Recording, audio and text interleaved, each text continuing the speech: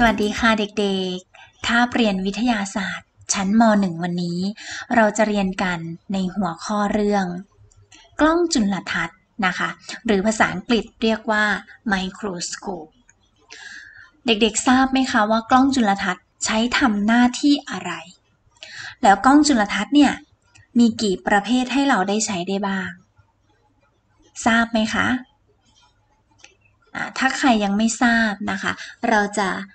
เรียนไปพร้อมๆกัน แล้วก็จะไปตอบคำถามท้ายบทเรียนเช่นเคยนะอะแต่ก่อนอื่นนะคะ teacher ขอทบทวนความรู้ของคาบเรียนที่แล้วก่อน ก็คือในเรื่องของโครงสร้างของเซลล์นะคะ โดยตัวโครงสร้างของเซลล์เนี่ยนะมันจะประกอบไปด้วยโครงสร้างพื้นฐานทั้งหมด กี่โครงสร้างคะอ่าสามโครงสร้างด้วยกัน นะคะ ซึ่ง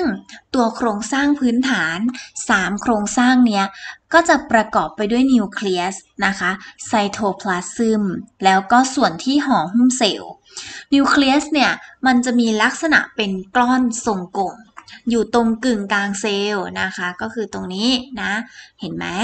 มันจะทำหน้าที่ในการควบคุมกิจกรรมต่างๆ ของเซลล์นะคะ อันนี้คือส่วนของนิวเคลียสนะ หน้าที่ของเขาคือควบคุม กระบวนการต่างๆ ภายในเซลล์ แล้วก็ส่วนที่ 2 ก็คือไซโทพลาซึม ไซโทพลาซึมเนี่ยนะคะ จะเป็นของเหลวที่อยู่ในเซลล์นะ เป็นของเหลวเลยที่อยู่ในเซลล์นะคะ จะประกอบไปด้วยออร์แกเนลล์ต่างๆ ซึ่งแต่ละออร์แกเนลล์เนี่ยจะมีหน้าที่ต่างกัน ออร์แกเนลล์ต่างๆ มีอะไรบ้าง ก็จะมีตั้งแต่นิวเคลียสนะคะ มีตัว ไรโบโซมนะไรโบโซมที่เป็นจุดๆนี้อันนี้ในเซลล์พืชนะคะ แล้วก็ไรโบโซมที่อยู่ในเซลล์สัตว์ก็มีเช่นกันจะเป็นจุดเล็กๆนะคะ ตัวไรโบโซมเนี่ยจะทำหน้าที่ในการสังเคราะห์โปรตีนจำได้ไหมอะออร์แกเนลล์อีกชนิดหนึ่งก็คือกอลจิบอดีนะคะกอลจิบอดีเนี่ยก็จะพบได้ทั้งในเซลล์พืชแล้วก็เซลล์สัตว์นะคะนะมันจะมีลักษณะ พับซ้อนทับกันไปมาเป็นเยื่อบางๆนะหน้าที่ของตัวกอลจิบอดีนะคะก็จะทำหน้าที่ในการเก็บสารที่ตัวร่างแหเอนโดพลาซึมสร้างไว้นะคะออร์แกเนลล์ถัดมาก็คือร่างแหเอนโดพลาซึมตัวร่างแหเอนโดพลาซึมเนี่ยนะคะ เห็นไหมลักษณะของเขาจะเป็นแบบนี้นะคะ มีลักษณะแบบนี้นะ เป็นท่อแบนนะคะ บางส่วนจะพองออกเป็นถุง เรียงซ้อนๆกันเป็นชั้น หน้าที่ของตัวร่างแหเอนโดพลาซึมมันจะเทียมมันจะทำหน้าที่ในการสังเคราะห์โปรตีน นะถัดมาก็คือแวคิวโอลแวคิวโอลเนี่ยเราจะพบได้ในทั้งเซลล์พืชนะคะ แล้วก็ได้ในทั้งเซลล์สัตว์ ในเซลล์พืชเนี่ยจะมีแวคิวโอลที่มีขนาดใหญ่นะคะ ตัวแวคิวโอลในเซลล์พืชเนี่ยนะจะทำหน้าที่ในการเก็บสะสมน้ำแล้วก็สารต่างๆนะคะในเซลล์ทำหน้าที่ควบคุมปริมาณน้ำแล้วก็ของเสียนะคะ แต่ถ้าในส่วนของตัวเซลล์สัตว์ มันจะมีขนาดเล็กใช่ไหม หน้าที่ของเขาก็จะรักษาสมดุลของน้ำในสิ่งมีชีวิตเซลล์เดียวบางชนิดนะคะ หรือว่าใช้ในการบรรจุอาหารในตัวเซลล์เม็ดเลือดขาวของสัตว์เลี้ยงลูกด้วยนมนั่นเองนะตัวออร์แกเนลล์ถัดมาก็คือไมโทคอนเดรีย ไมโทคอนเดรียเนี่ยเห็นไหมจะพบได้ในทั้งเซลล์พืช แล้วก็เซลล์สัตว์นะคะ เซลล์พืช แล้วก็ตัวเซลล์สัตว์ มันจะมีเยื่อหุ้มสองชั้นหน้าที่ก็จะเป็นแหล่งสร้างพลังงานให้แก่เซลล์เนาะถัดมาก็คือตัวเซนทริโอล เซนทริโอลเนี่ยเราพบได้เฉพาะเซลล์อะไรคะ ในเฉพาะเซลล์สัตว์ถูกต้องไหมลักษณะเนี่ยจะคล้ายๆ ท่อทรงกระบอก 2 อัน วางตั้งฉากกันนะเป็นออร์แกเนลล์ที่ทำให้โครมาทิดเนี่ยแยกออกจากกันในระหว่างการแบ่งเซลล์มีความสำคัญมาก ถ้าหนูเรียนในระดับที่โตขึ้นกว่านี้นะคะ ในระดับชั้นม .4 นะเราก็จะเรียนลึกลงไปในส่วนของการแบ่งเซลล์ในถัดมาก็คือในส่วนของตัวเซลล์พืช ก็จะมีตัวคลอโรพลาสต์นะคะ ซึ่งในตัวคลอโรพลาสต์เนี่ยก็จะมีตัวคลอโรฟิลล์อยู่ใช่ไหม เราจะพบตัวคลอโรพลาสต์ได้ในเฉพาะเซลล์พืช ซึ่งตัวคลอโรพลาสต์เนี่ยจะมีเยื่อหุ้ม 2 ชั้น ภายในมีโรงควัตถุที่เกี่ยวข้องกับการสังเคราะห์ด้วยแสงเราจะเรียกว่าคลอโรฟิลล์นะคะ อันนี้คือส่วนออร์แกเนลล์ต่างๆ ที่อยู่ภายในเซลล์ นะถัดมาก็คือส่วนที่ 3 ก็คือส่วนที่ห่อหุ้มเซลล์ ส่วนที่ห่อหุ้มเซลล์เนี่ยมันจะเป็นโครงสร้างที่ห่อหุ้มตัวไซโทพลาซึมอยู่นะคะ แล้วก็แสดงขอบเขตของตัวเซลล์ จะแบ่งออกเป็น 2 ประเภทก็คือผนังเซลล์ ผนังเซลล์จะพบได้ในเฉพาะในเซลล์พืชเห็นไหมชั้นนอกสุดนะคะทำหน้าที่ในการห่อหุ้มเซลล์ สร้างความแข็งแรงให้กับเซลล์พืชทำให้เซลล์พืชเนี่ยคงรูปร่างอยู่ได้ ถัดมาก็คือเยื่อหุ้มเซลล์ เห็นไหมเยื่อหุ้มเซลล์เนี่ยเราจะพบได้ในทั้งเซลล์สัตว์แล้วก็เซลล์พืชนะคะ มันจะห่อหุ้มเซลล์แล้วก็ควบคุมสารที่ผ่านเข้าออกเซลล์ นี่คือโครงสร้างของเซลล์ลืมกันหรือยังคะ ถ้าลืมแล้วอย่าลืมกลับไปทบทวนอีกหนึ่งครั้งนะคะ เปิดเทอมมาเราจะได้เรียนแบบ ง่าย ๆ เข้าใจได้เร็วขึ้นนะอะก่อนที่จะไปแบ่งประเภทของกล้องจุลทรรศน์นะคะทีเชอร์จะสอนส่วนประกอบของกล้องก่อนเนาะในส่วนประกอบของกล้องจุลทรรศน์เนี่ยมีเยอะแยะมากมาย เด็กๆ ต้องจำให้ได้ว่า แต่ละส่วนเนี่ยเรียกว่าอะไร ทำหน้าที่อะไรบ้างนะคะ ตัวกล้องจุลทรรศน์เนี่ยนะหรือที่เราเรียกว่าตัวไมโครสโคปนะคะมันจะเป็นอุปกรณ์ที่ช่วยในการขยายขนาดของสิ่งต่างๆ ที่ตัวเราเองเนี่ยไม่สามารถมองเห็นได้ด้วยตาเปล่านะคะ โดย องค์ประกอบแรกก็คือเลนใกล้ตาก็คือตัวนี้ นะคะเลนใกล้ตาเนี่ยคือใช้ตาสองง่าย ๆเลย มันจะอยู่บนลำกล้อง โดยทั่วไปเนี่ยกำลังขยายมันจะมีที่ 10x นะคะ สามารถทำให้เราเนี่ยมองเห็นสิ่งเล็กๆได้นะแต่มากกว่า 10x ก็มีนะคะอะถัดมาก็คือจานหมุน จานหมุนก็คือตรงนี้ ใช้ในการหมุนเปลี่ยนกำลังขยายของเลนใกล้วัตถุนะคะ ถ้าเราอยากได้กำลังขยายของเลนใกล้วัตถุเนี่ยมากขึ้นหรือต่ำลง เราก็จะหมุนจานหมุนตรงนี้นะคะ มันสามารถหมุนได้เนาะเวลาเราหมุนเราจะไม่หมุนที่เลนนะคะ เราจะหมุนที่จานหมุนจำไว้นะ ถัดมาก็คือที่หนีบสไลด์ก็คือตัวนี้นะคะ ตรงบริเวณนี้ก็คือที่หนีบสไลด์ ใช้ยึดสไลด์ให้แน่นอยู่กับที่นะคะ เวลาเราส่องโดยใช้สไลด์เนี่ยนะเราจะต้องใช้ที่หนีบสไลด์เพื่อที่จะยึดสไลด์ไม่ให้สไลด์เนี่ยมันเลื่อนนะคะอะถัดมาก็คือตรงบริเวณ เลนรวมแสง ก็คือตรงบริเวณนี้นะคะ เลนรวมแสงเนี่ยนะ มันจะทำหน้าที่รวมแสงให้แสงเข้มขึ้น เพื่อส่งไปยังวัตถุที่เราต้องการศึกษานะคะถัดมาก็คือตัว iris diaphragm นะ iris diaphragm เนี่ยเป็นม่านคือตัวนี้นะ เป็นม่านปิดเปิดรูรับแสงนะคะ สามารถปรับขนาดของรูรับแสงเนี่ยให้มีปริมาณแสงที่ต้องการได้ นะคะ หลีแสงให้แสงต่ำให้แสงน้อยลง แล้วก็เพิ่มแสงให้มากขึ้นนั่นเองนะคะ เป็นรูรับแสงเนาะ แล้วก็แหล่งกำเนิดแสงของกล้องก็คือตรงบริเวณนี้นะคะอาจจะเป็นกระจกเงาหรือหลอดไฟ แต่ทุกวันนี้ในรุ่นที่เป็นกระจกเงาเขาไม่นิยมใช้กันแล้วนะเขาจะใช้เป็นหลอดรุ่นที่เป็นหลอดไฟแทนนะคะ อะถัดมาก็คือตัวลำกล้องลำกล้องก็คือตัวบริเวณนี้นะมันสามารถที่จะหมุนไปได้ 360 องศาเลยนะคะ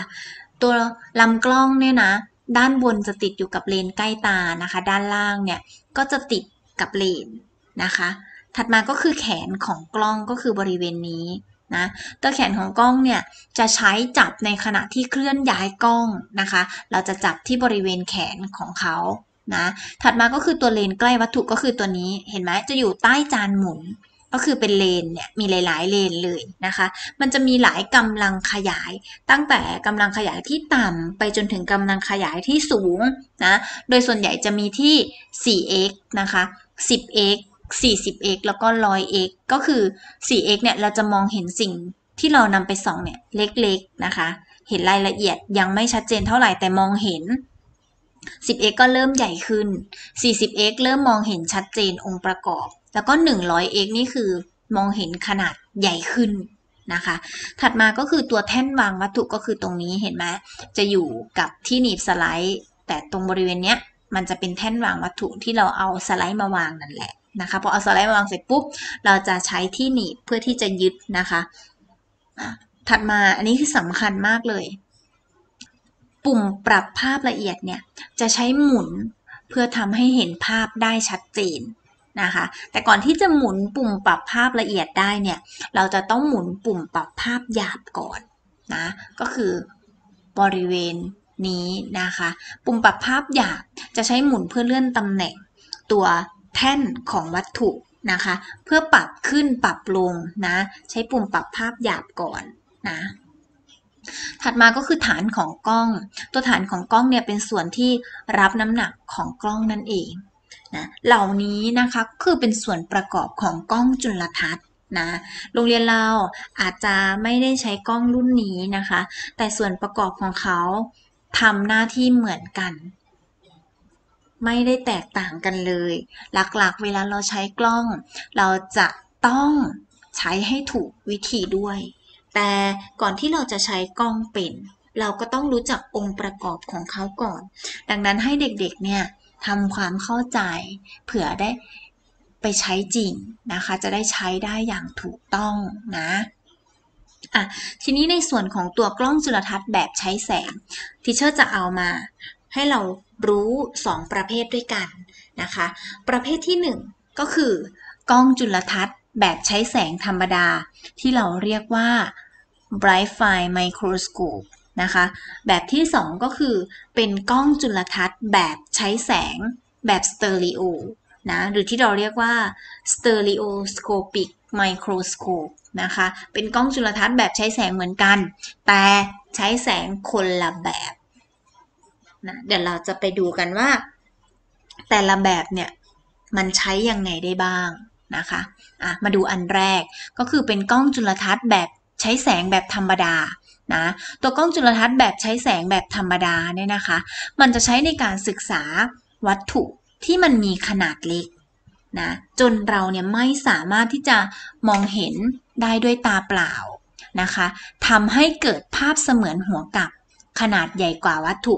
จำนะคะ นี่คือสิ่งที่ต้องจำถ้าเป็นกล้องจุลทรรศน์แบบใช้แสงธรรมดา มันจะทำให้เกิดภาพเสมือนหัวกลับขนาดใหญ่กว่าวัตถุ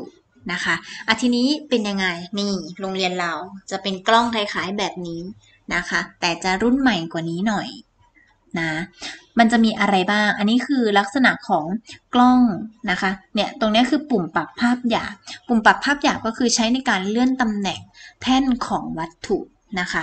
ปุ่มปรับภาพละเอียดก็คือตัวนี้ นะจะใช้หมุนเพื่อทำให้เห็นภาพได้ชัดขึ้นนะคะ เห็นไหมหลักการเดียวกันเลย แขนของกล้องก็ใช้จับเพื่อที่จะใช้เคลื่อนย้ายกล้องนะคะ แล้วก็ แท่นวางวัตถุนะก็คือตัวนี้นะคะจะใช้วาง สไลด์ที่ต้องการศึกษา แล้วก็มีที่หนีบเห็นไหมเพื่อยึดให้เขาแบบว่าไม่เคลื่อนที่นะคะ แล้วก็มีฐานใช่ไหมใช้ในการรับน้ำหนักเนาะแล้วก็เลนใกล้วัตถุนะคะ ตัวเลนใกล้วัตถุเนี่ยก็มีหลากหลายกำลังขยายตั้งแต่ 4x ไปจนถึง 100x นะคะ เลนใกล้ตาก็ใช้ตา 2 ถูกต้องไหมคะ ก็มีกำลังขยายตั้งแต่ 10x 15x ใช่ไหมอะ อันนี้ก็คือเป็นรูปแบบของ กล้องจุลทรรศน์ แบบใช้แสงธรรมดา ซึ่งโรงเรียนของเราเนี่ยก็จะมีตัวกล้องจุลทรรศน์นะคะ ที่เป็นแบบใช้แสงธรรมดานะ แต่คนละรุ่นกับรุ่นนี้นะคะ ของเราจะใหม่กว่าเนาะจะไม่ใช้กระจกสะท้อนแสง แต่มันจะเป็นหลอดไฟแบบสะท้อนแสงนะคะ รูปร่างก็จะใกล้เคียงกันแต่ไม่ใช่แบบนี้ เดี๋ยวเปิดเทอมมาเราจะได้ไปทำแลบโดยเป็นแลบที่เป็นการใช้ กล้องจุลทรรศน์สองสิ่งมีชีวิตขนาดเล็กเนาะดังนั้นให้เด็กๆจำนะว่า ตัวกล้องจุลทรรศน์แบบใช้แสงเนี่ยมันจะทำให้เกิดภาพเสมือนหัวกลับขนาดใหญ่กว่าวัตถุนะคะจำนะอะทีนี้มาดูวิธีการใช้กล้องจุลทรรศน์แบบใช้แสงแบบธรรมดา ใช้ยังไง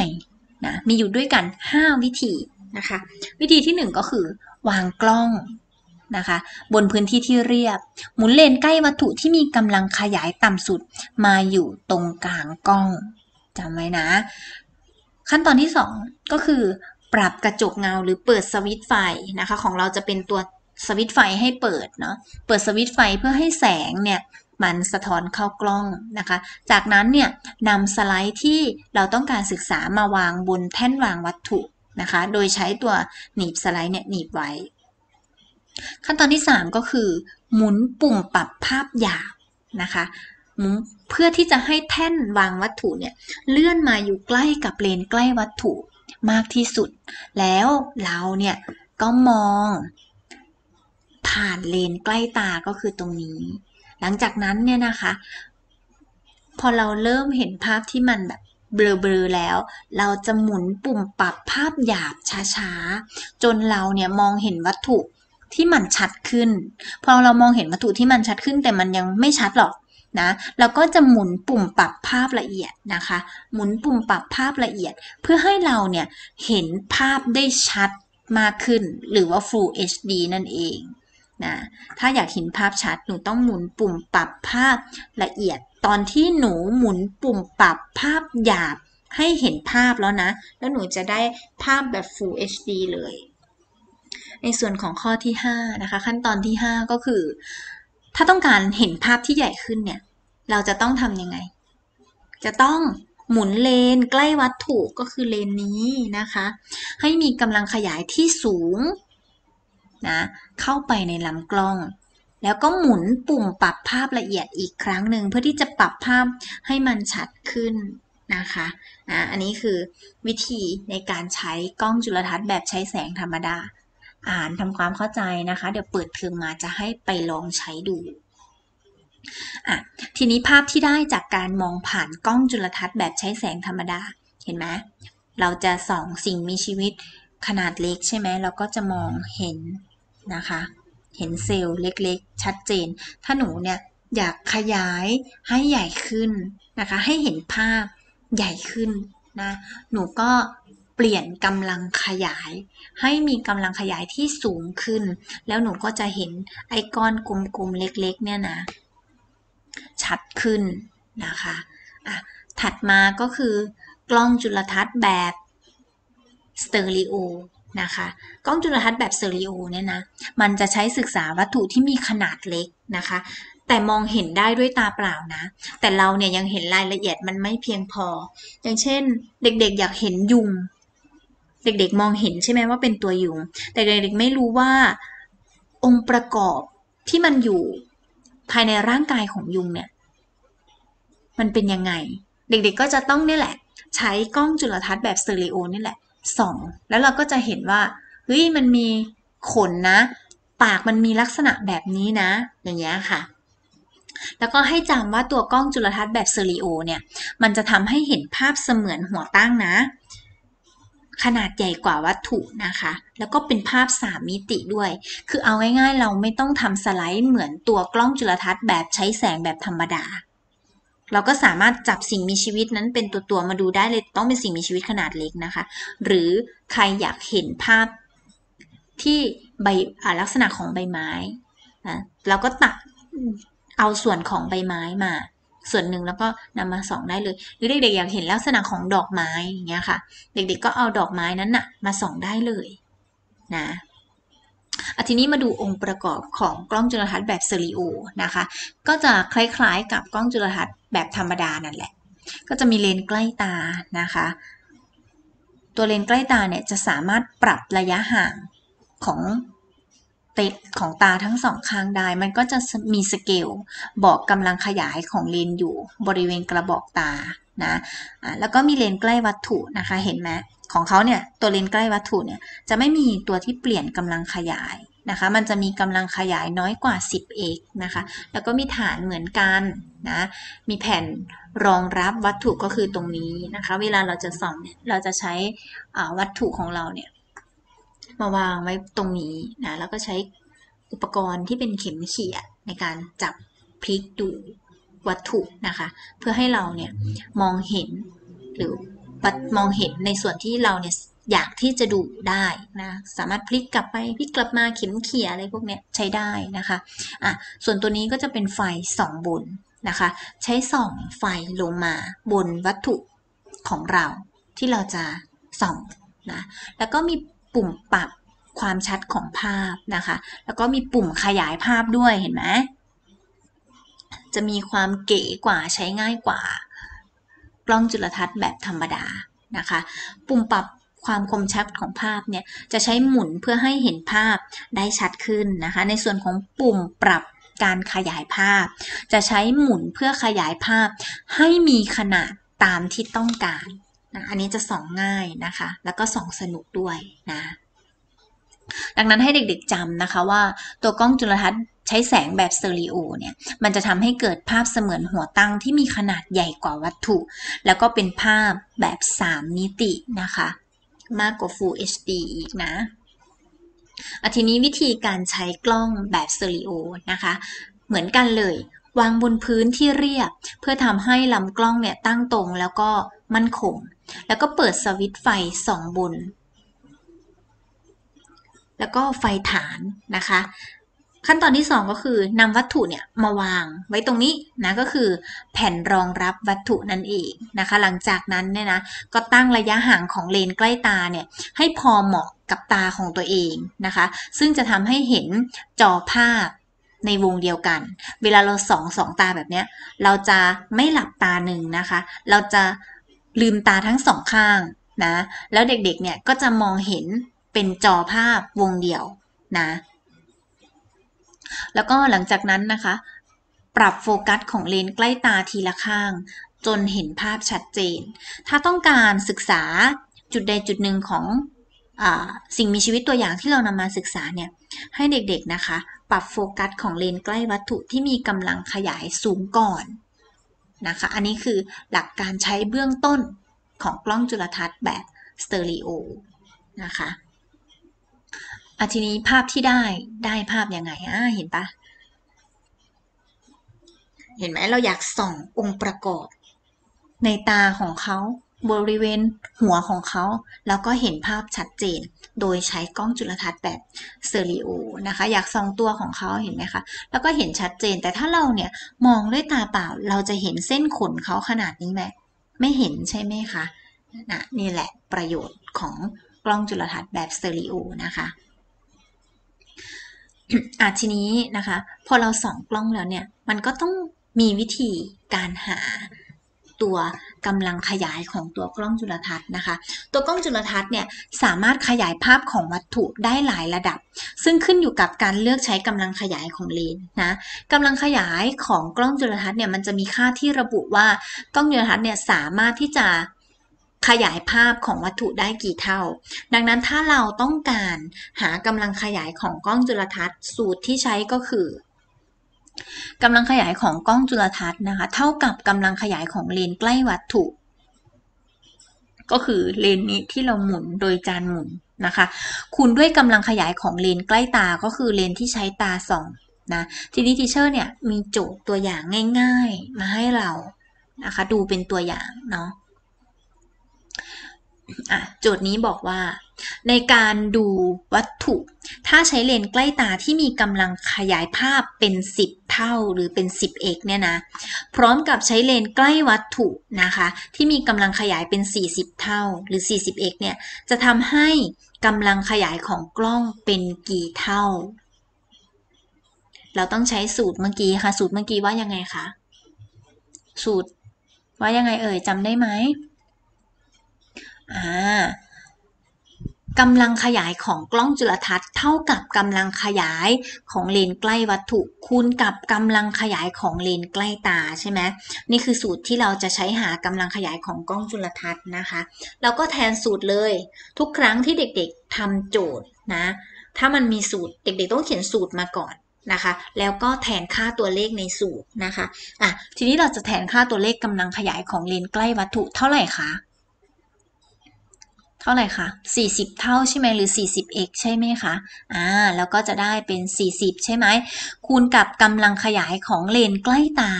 กำลังขยายของเลนใกล้ตาก็จะเป็น 10 เท่าใช่ไหมคะ ก็จะได้ว่า 40 คูณ 10 ใช่ไหมเท่ากับเท่าไหร่คะเท่ากับกี่เท่า 400 เท่าใช่ไหมคะ ดังนั้นเราจะสรุปได้ว่า ภาพที่สังเกตเห็นจะมีขนาดใหญ่เป็น 400 เท่าของวัตถุนะคะ อันนี้คือสูตรในการหากำลังขยายของกล้องจุลทรรศน์นะจำไว้นะคะ ขึ้นม .4 ก็จะได้หา แต่จะหายากกว่านี้ อันนี้จะเป็นความรู้พื้นฐานเนาะอะทีนี้วันนี้นะคะเราเรียนในส่วนของกล้องจุลทรรศน์แบบใช้แสง ซึ่งมีด้วยกัน 2 ประเภทนะที่ teacher ยกตัวอย่างมานะคะ จะเป็นกล้องจุลทรรศน์แบบ ใช้แสงแบบธรรมดา กับกล้องจุลทรรศน์ใช้แสงแบบสเตอริโอซึ่งมันก็จะมีความแตกต่างกันเนาะในส่วนของกล้องจุลทรรศน์แบบใช้แสงธรรมดาเป็นยังไงเอ่ย ใช้ศึกษาอะไรคะ ตอบได้ไหมเพิ่งเรียนผ่านมา ใช้ศึกษาวัตถุขนาดเล็กใช่ไหมพวกเล็กๆ ที่มันไม่สามารถมองเห็นด้วยตาเปล่าได้ใช่ไหมคะอะทำให้เราเห็นภาพเป็นยังไงคะ เห็นภาพ เสมือนหัวกลับใช่ไหม ขนาดใหญ่กว่าวัตถุใช่ไหมคะ อันนี้เป็นตัวที่ใช้กล้องจุลทรรศน์แบบใช้แสงแบบธรรมดานะคะอะในส่วนตัวที่ใช้แสงแบบสเตอริโอล่ะ เป็นยังไง ศึกษาอะไร ศึกษาสิ่งมีชีวิตขนาดเล็กเหมือนกัน แต่ไอตัวที่ศึกษาเนี่ย เราสามารถมองเห็นได้ด้วยตาเปล่า แต่เราไม่สามารถมองเห็นรายละเอียดของเขาได้ใช่ไหมไม่ไม่สามารถที่จะมองเห็นดีเทลต่างๆ ได้ ขนที่ติดอยู่บนใบหน้าเนี่ยก็มองเห็นไม่ได้ ลักษณะของเส้นปีกก็มองเห็นไม่ได้ เราก็เลยต้องเลือกใช้กล้องจุลทรรศน์แบบสเตอริโอนะคะ แล้วมันทำให้เกิดภาพอะไร ได้ภาพอะไรคะภาพเสมือนหัวตั้งนั่นเองนะคะ มีขนาดใหญ่กว่าวัตถุและได้เป็น ภาพ 3 มิตินะคะ อันนี้ก็คือเป็นกล้องจุลทรรศน์แบบสเตอริโอนะ ถัดมาส่วนประกอบที่เราได้พูดกันไปนะคะ ให้เด็กๆจำนี่คือองค์ประกอบที่ครบเลยนะคะ มีเลนส์ใกล้ตาเนาะมีจานหมุนนะคะ มีที่หนีบสไลด์นะ เลนส์รวมแสงนะคะไอริสไดอะแฟมนะใช้ปรับรูรับแสงนะคะ แหล่งกำเนิดแสง นะ แล้วก็มีฐานใช่ไหมคะ ปุ่มปรับภาพหยาบ ปุ่มปรับภาพละเอียด มีแท่งแท่นวางวัตถุ เลนใกล้วัตถุเห็นไหมนี่คือเลนใกล้วัตถุนะ แล้วก็เลนใกล้ตาใช่ไหมแขนของกล้องลำกล้องนะคะ ของโรงเรียนเราเนี่ยจะคล้ายๆแบบนี้เนาะแต่จะเลนใกล้ตาเนี่ยจะมีแค่ตาเดียวนะคะจะคล้ายๆแบบนี้เลยใช้งาน ได้ง่าย มองเห็นภาพได้ชัดเจนเดี๋ยวเราจะได้มาลองกันตอนเปิดเทอมนะอะทีนี้ก่อนจากกันนะคะที่เชอร์ขอฝากคำถามไว้เหมือนเดิม 4คำถามเนาะให้เด็กๆตอบเหมือนเดิมนะคะ ตอบลงที่ใต้คลิปวิดีโอนะข้อที่ 1 ถามง่าย ๆ เลย กล้องจุลทรรศน์แบบใช้แสงเนี่ยมีกี่ประเภทอะไรบ้างที่ทิเชอร์สอนวันนี้นะคะ ข้อที่ 2 กล้องจุลทรรศน์แบบใดทำให้เกิดภาพเสมือนหัวกลับขนาดใหญ่กว่าวัตถุอ่าคือกล้องจุลทรรศน์แบบไหน 3. กล้องจุลทรรศน์แบบไหนที่ทำให้เกิดภาพเสมือนหัวตั้ง ขนาดใหญ่กว่าวัตถุ แล้วก็เป็นภาพ 3 มิติด้วยนะคะ แล้วก็ข้อสุดท้ายให้เด็กๆเนี่ยบอกประโยชน์ของกล้องจุลทรรศน์แล้วเอากล้องจุลทรรศน์มาใช้ประโยชน์อะไรได้บ้าง เนาะวันนี้เรียนง่าย ๆนะคะ ให้เด็กๆจำองค์ประกอบจำหน้าที่นะคะ แล้วก็กล้องแต่ละประเภทเนี่ยมันใช้แบบไหน และทำให้เกิดภาพแบบไหนนะคะ แล้วก็สูตรที่ใช้ในการคำนวณที่ทิเชอร์สอนไปเนาะให้ทบทวนนะคะ ในระหว่างช่วงปิดเทอมเนี่ยนะสามารถที่จะเอาหนังสือมาเปิดอ่านทบทวนไปด้วย นะคะ เรียนไปด้วยนะ พยายามแล้วก็ตั้งใจนะคะ เป็นเด็กดีของคุณพ่อคุณแม่ค่ะ เจอกันคาบหน้านะคะ